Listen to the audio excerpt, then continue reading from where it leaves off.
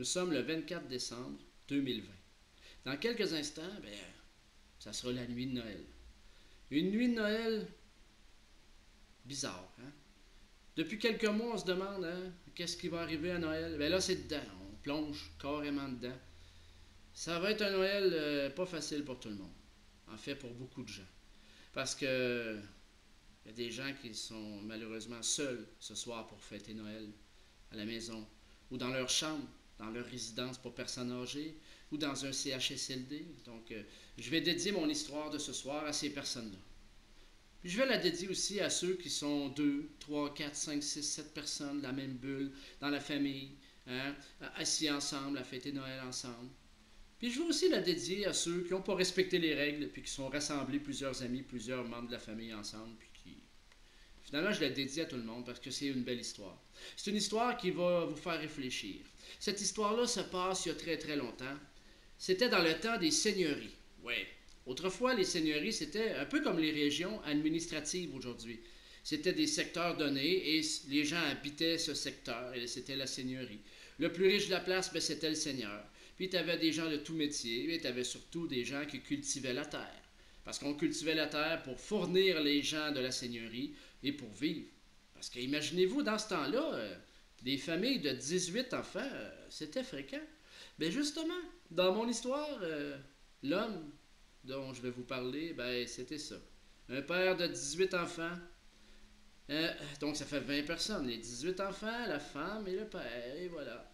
Et euh, ça n'avait pas été une année facile. C'est un peu pour ça que j'ai choisi cette histoire-là, parce que euh, moi, mon histoire se passe dans un temps où l'année n'avait pas été facile. Un peu comme l'année 2020, qui va prendre le bord dans pas long. Hein. Et euh, pas facile dans le sens, bon, il n'y avait pas eu de COVID là, dans ce temps-là, mais il y, avait, il y avait plusieurs malheurs des fois qui pouvaient s'acharner sur le pauvre monde dans ce temps-là. Imaginez, tu es cultivateur, tu dois cultiver ta terre, travailler fort. Ben, quand c'est des années de misère, trop chaud, pas chaud, trop de pluie, pas assez de pluie. Euh, ça, ça fait en sorte que les cultivateurs, d'autrefois, euh, ils en arrachaient. Ben, mon bonhomme, dans l'histoire, il n'avait arraché pas mal. Ah oui. Ça avait été une année de récolte misérable à cause de la température. Puis c'est pas d'hier que les Québécois ont chialé sur la température. Non, non, c'est pas d'hier. Mais mon bonhomme, lui, c'était la veille de Noël, le 24 au soir. La tradition dans ce temps-là, c'est que tu couchais ta femme puis les enfants de bonne heure après le souper. Puis tu réveillais plus tard, en fin de soirée, pour tout le monde embarquer dans la carriole, puis aller à l'église pour la fameuse messe de minuit. Dans ce temps-là, les messes de minuit, ils étaient à minuit. C'était pas à 7h ou 10h, c'était à minuit. Dans ce temps-là, même dans mon histoire, il y avait des messes de minuit. Je sais même pas s'ils vont en avoir cette année. Fait que notre bonhomme, il est assis dans son salon, puis là, il se met à penser toute l'année de misère qu'il a eu. Puis il flattait son chien, parce que lui, il avait un chien, Fino qui s'appelait. Son chien, ah, le meilleur ami de l'homme. Il flattait son chien dans le sens du poil, puis il lui parlait. Parce que quand on a des animaux de compagnie qu'on aime, on se confie à eux, puis euh, des fois, ben, euh, ils nous écoutent, puis c'est tout juste s'ils nous répondent pas. Ben, c'est ça, notre bonhomme, il flattait son chien finot dans le sens du poil, ben, ben, parce que c'est important de flatter un chien dans le sens du poil. Si tu le flattes dans l'autre sens, ça, il aime pas ça. Que, ça, c'est un peu tout le monde. Se faire flatter, faire flatter dans, le, dans le sens contraire du, du poil, c'est pas le fun. Fait que, il dit à son chien Hey, mon chien, écoute-moi bien, là. Écoute-moi bien, là, toute l'année de misère que j'ai eue, ben ça, ça fait en sorte que là, je suis triste. Puis fâché parce que je serais pas capable d'offrir un beau Noël à mes 18 enfants, à ma femme. T'as-tu vu de quoi qu'il a de l'air le sapin cette année? J'ai pas, pas été capable d'offrir plus. Et en plus, il dit à son chien, en plus, il y a un maudit lutin qui s'est acharné sur moi, puis ça, à ça, là, on dit, bon, faut, un lutin, bon, vous vous dites, un lutin qui s'est acharné, bon, vous autres, dans votre tête, vous vous dites Ah, un lutin Ah, mais c'est cute, un lutin Ah, puis ah, c'est peut-être un lutin joueur de tour comme on voit partout dans les réseaux sociaux, là, avant Noël, hein. Tu sais, le petit lutin qui nage dans la farine, là, puis tout ça, puis là, papa, maman mettent ça sur le Facebook, puis, euh, tu sais. Non, non, pas ce, genre de lutin-là. Non, non, non, non. Les lutins d'autrefois, ils jouaient des tours, mais pas mal plus euh, vicieux comme tours. Oh, ouais.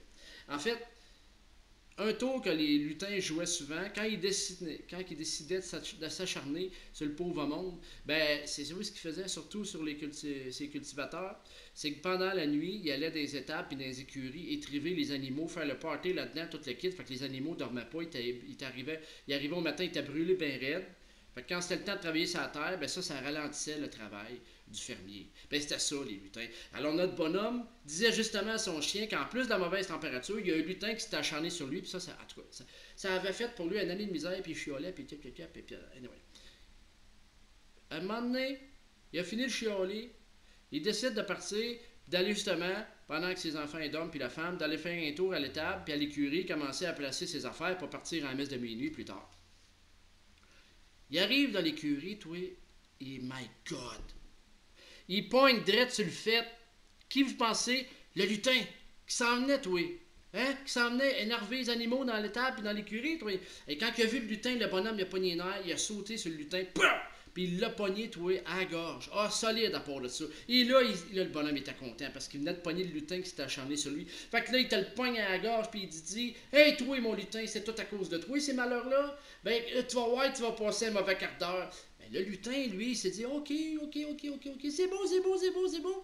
Tu m'as pogné, tu m'as pogné, tu peux, me lâcher, lâche-moi. Puis si tu me lâches, puis tu me laisses la vie sauve, ben moi, le lutin, ben, j'ai des pouvoirs, puis ben, je vais t'offrir trois vœux le bonhomme, il a slaqué le coup du lutin. Trois vœux? Hein? C'est intéressant, ça. Qu'est-ce que je peux te demander? Ben, le lutin, il dit C'est toi qui décides, c'est trois vœux. Vas-y. Ben, le bonhomme s'est mis à penser à ça. Ah, ben, ben, ben.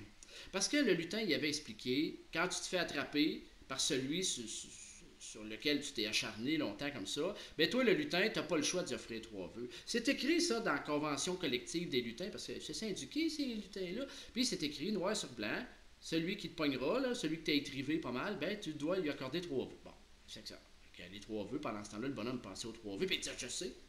Il dit, mon premier vœu, écoute bien, hey, le seigneur de la seigneurie, il a une méchante belle maison, il est riche, hey, ben ça c'est, mon premier vœu, ben, c'est d'être à la place du Seigneur de la Seigneurie. Parce que moi, là, pas mal sûr que le Seigneur, lui, ça va bien. Il n'y en a pas de trouble hein, à penser s'il va avoir un beau Noël, un pas un beau Noël, l'argent, puis c'est puis ça. Tant, mon premier vœu, c'est d'être à la place du Seigneur. Tu es capable de m'accorder ça? Ben, le lutin, dit parfait. Voici ton premier vœu, ça va être ça. Deuxième master. le deuxième vœu, il s'est mis à penser euh, si je pourrais être à la place du Seigneur, tout aussi bien d'en profiter le plus longtemps possible. Alors, il s'est dit ben, t'as titre tu vas m'accorder, toi, lutin, la vie éternelle. Vivre éternellement. Ça, ça doit être le fun, vivre longtemps de même. Fait que, let's go, mon deuxième vœu, c'est ça. Tu es capable de m'accorder ça? Le lutin, tu es sûr de ton affaire? Ben, il dit, oui, oui, vivre éternellement. Parfait. Ça va être ton deuxième vœu. Alors, le troisième vœu, le bonhomme pense à ça. Hey, je vais être à la place du Seigneur je vais vivre éternellement. Ah ben je sais, toi le lutin, tu vas m'accorder du bonheur. le bonheur, je veux que du bonheur. Si je peux vivre longtemps de même, je veux avoir du bonheur. T'sais. Fait que moi, ben, écoute, parfait, ça va être ça mes trois vœux. Ben le lutin, il dit, c'est parfait, c'est parfait, ça va être ça tes trois vœux. Mais il dit avant, c'est écrit dans ma convention collective, avant de t'accorder les trois vœux, je dois te montrer quelque chose avant. Ben, le bonhomme dit que c'est? Il dit, le lutin, on dit au bonhomme, va, va, va atteler ton, ton, plus bel étalon, là, ton cheval qui va le plus vite. Là. Ah oui, mets la selle dessus, il était, on s'en va. Ben, le bonhomme met la selle sur le cheval. Puis, ben, avec le lutin, il embarque tous les deux sur le cheval, puis ça passe. Petit galop, petit galop, petit galop, petit galop. Un rang, deux rangs, trois rangs, quatre rangs, cinquième rang, sixième rang. Houp! Arrive au bout du septième rang, tout paf! T'arrives direct en avant de la maison du Seigneur, de la Seigneurie. Oh, vous auriez dû voir la cabane c'est toute une cabane. une grosse maison de huit étages, trouvé immense, belle cabane. Le lutin a dit au bonhomme, il dit, on va rentrer en dedans, on va te montrer quelque chose. Et le, bonhomme dit au lutin, t'es-tu fou, toi, rentrer dans la maison du Seigneur? Le lutin dit, hey, crois en moi, j'ai des, des pouvoirs. Clac, il claque des doigts. Le bonhomme puis le lutin deviennent invisibles. il dit, tiens, on va rentrer dans la maison invisible, on se fera pas pogner. Fait que ça rentre dans la maison, toi, les deux invisibles. Quand c'est arrivé dans la, pièce principale, l'espèce de salon-cuisine air ouverte, c'était immense. Vous auriez dû voir la table, toi. Des cadeaux, il y en avait plein en dessous du sapin. Sapin énorme. La table était mise pour Noël. Des dindes, des atacas, de la bouffe. C'était un, buffet de roi, oui. Non, non, en fait, un buffet de seigneur, hein, tu sais. Fait que, wow! Fait que le lutin, dit, suis-moi. Fait que si on monte en haut, dans la chambre du Seigneur, j'ai, boy, il monte dans la chambre du Seigneur, arrive dans la chambre du Seigneur, les deux rentrent invisibles, hein, ils se font pas voir. Arrivé dans la chambre du Seigneur, vous auriez dû voir ça, oui. Un lit immense, oui. Un grand, grand lit. Ben, en fait, pas, pas, un king ou un queen. Non, non, non. Un seigneur 16. Ça, c'est gros, ça. Et là, écoute, il était immense, une grande chambre, mais en plein milieu du, grand lit, le Seigneur 16, ben, il y avait le Seigneur couché dedans. Faut, faut le dire, le Seigneur était vieux dans mon histoire. Il était magané pas mal par la vie. Puis là, il était couché dans son lit, puis il touchait sans bon sens, puis il grognait, puis à un moment donné, il se met à Il est arrivé dans la chambre, une petite fille avec un plateau, hein? Puis euh, sur le plateau, il y avait, ben ça c'était une des petites filles du Seigneur. Euh, il y avait un petit verre de lait puis des, petits biscuits secs, secs, secs. Fait que la petite fille a dit Tenez, Seigneur, le médecin cette année, il a dit Votre santé n'est pas très bonne, ben, euh, vous ne pas manger beaucoup à Noël, ça va être ça votre repas. Hey, ben, le Seigneur qui pogne les nerfs, oui. Donne une claque sur le plateau, tout revole dans la chambre, le lait, les biscuits secs, ling lang, bedling, oui. Hein, puis là, il se met à gueuler. Des gueules, la petite fille qui braille sans bon sens. Écoute, tout ce vacarme-là, ben, ça a fait que toute la famille du Seigneur est débarquée dans la chambre. Toi. Écoute, le Seigneur avait eu 42 enfants. T'imagines-tu le monde qu'il y avait dans cette chambre-là? Il y en avait du monde. Dans un coin, tu avais euh, les plus vieux gars de la famille qui commençaient déjà à comploter dans le dos du Seigneur en disant Il va-tu partir bientôt qu'on ramasse l'héritage, toi? Puis ça chiolait. Puis les femmes qui se battaient aussi pour savoir qui, qui va avoir de quoi de l'héritage. Il y en a qui braillaient, la femme du Seigneur qui broyait, la chicane épognée, puis t'as le Seigneur qui gueule sans bon dans le lit. Puis, écoute, le bonhomme, quand il a vu ça, il dit Eh, my god, j'avais pas vu ça de même. Le lutin, il regarde le bonhomme Bon, t'es-tu prêt pour ton premier vœu, là? Ton premier vœu, c'était Tu vas être à la place du Seigneur. Ben, moi, le lutin, je claque des doigts, puis tu t'en vas à la place du Seigneur. Non, mais le bonhomme, il dit Je me suis mal exprimé, je veux pas être à la place du Seigneur. C'est pas ça que je voulais dire. Je voulais être riche comme le Seigneur, mais pas, pas je veux pas être à la place. Écoute, ben, premièrement, un vieux comme qui, il doit pas y rester grand temps. Euh, puis si je pouvais vivre éternellement de même, ça me tente pas pantoute. Puis il s'est dit euh, oui, mais ma femme, mes 18 enfants, on a bien plus de fun dans la vie que ça. Fait que, euh, il dit au lutin, peux-tu changer mon vœu? Je me suis mal exprimé. Le lutin dit, non, non, non, on peut pas changer un vœu. Je peux te l'annuler, puis te restera les deux autres. Mais moi, c'est écrit dans ma convention, on peut pas changer un vœu. Le bonhomme, il pensé à ça. Il n'était pas question d'être à la place du Seigneur. Ah, non, non, non, non, non, non, pas partout. Alors, il s'est dit, il me reste les deux autres vœux, hein, vivre éternellement, puis le bonheur. Fait que, that's. Fait que, on va t'annuler ça, ce vœu-là, puis viens-t'en. Fait qu'il ressort de la chambre, ils reviennent dehors, ils deviennent visibles, rembarquent sur le cheval. Puis là, ils partent pour le deuxième vœu qui est la vie éternelle.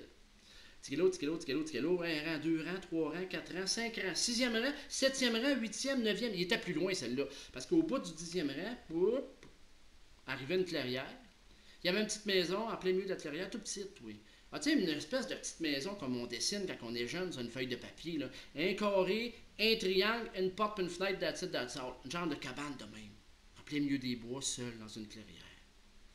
Le lutin et le bonhomme, paf, ça redevient visible, ils sont rentrés, oui, dans la petite maison.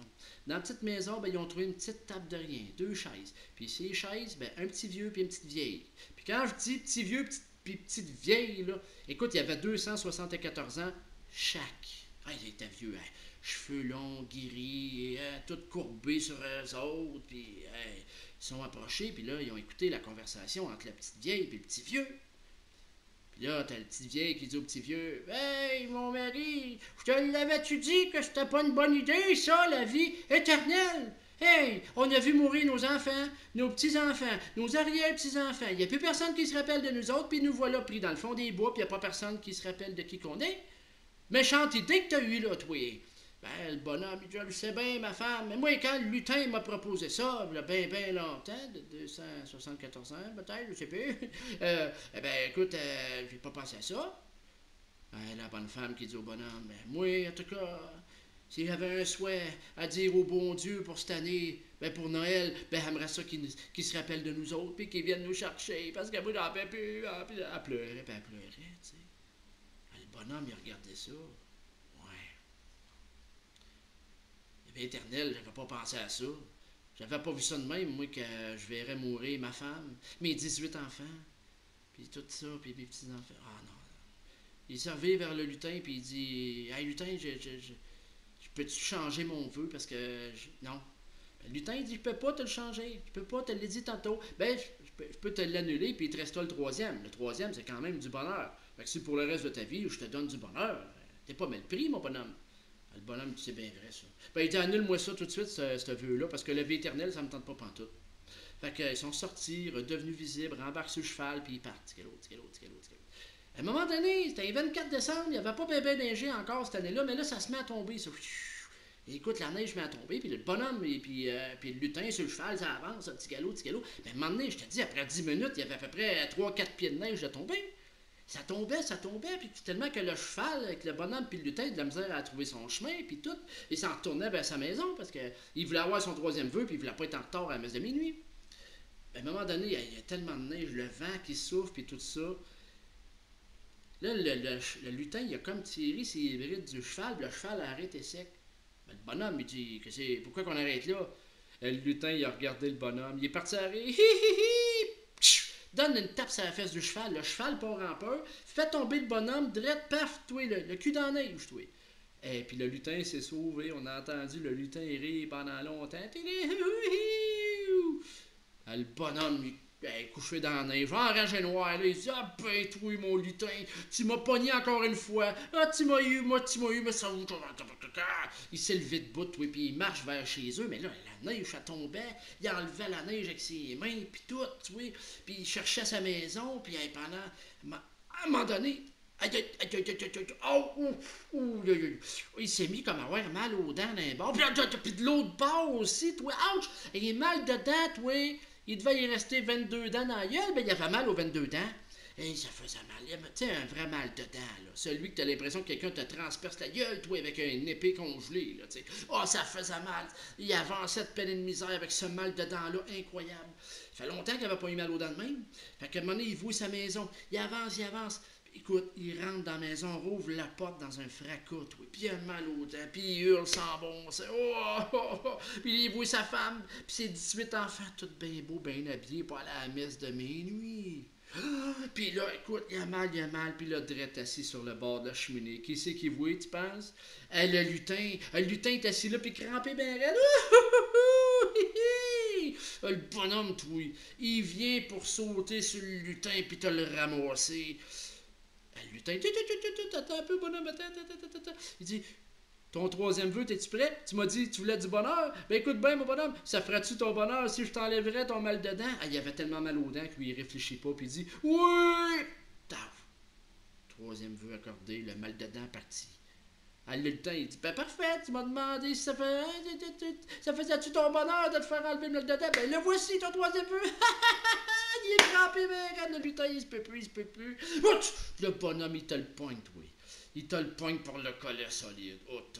Là, il te le pointe, puis il lâche pas, puis il te le serre fort. Puis là, il dit Toi, mon petit lutin, tu vas manger toute une. Je te jure.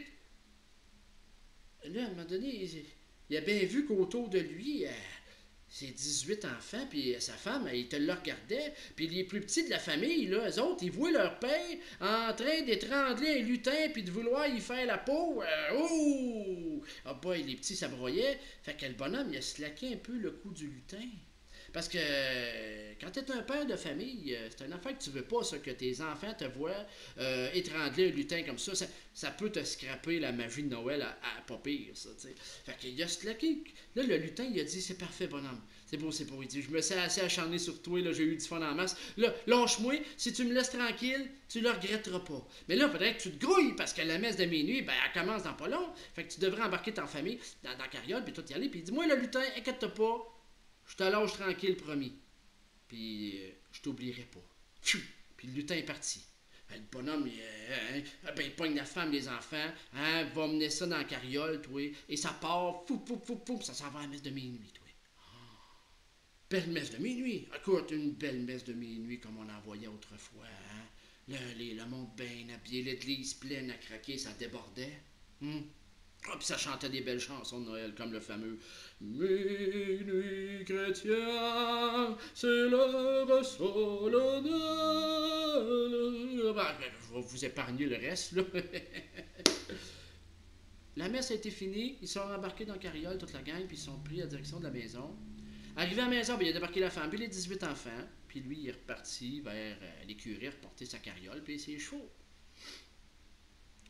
En s'en retournant vers euh, sa maison, il était bien triste de tout ça. La messe, ça l'avait un petit peu. Euh, euh, ça, l'avait rendu émotif parce que. Il savait que cette année, il n'était pas capable d'offrir un beau Noël à sa famille, hein, ses 18 enfants. Puis sa femme, avec toute l'année de misère qu'il avait eue, ben, il savait qu'il ne pouvait pas offrir ça, ça lui faisait bien de la peine. Fait qu'il retournait vers chez eux tranquillement, pas vite, pas pressé de rentrer. Hein. Quand il est arrivé au seuil de la porte, ben, il n'a pas eu le choix, il s'est dit Je vais affronter mon destin. Il rouvre la porte, puis il rentre dans la maison. Écoute, il a vu sa maison comme il n'avait jamais vu. Un immense sapin était apparu dans le coin du salon, oui. Avec des cadeaux. T'avais-tu des cadeaux? Il y en avait plein. Il y avait une table en plein milieu de la pièce. il y avait de la virtuaille là-dessus, et de la bouffe, oui, c'était incroyable. Il y en avait plus de ce qu'il avait vu sur la table du Seigneur tantôt.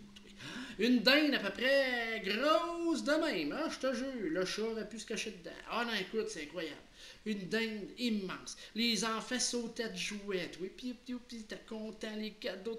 La femme, pogne son mari par le cou. Elle dit Faites un bec. Hum, elle te serre fort. Oh my God, c'était beau de voir ça.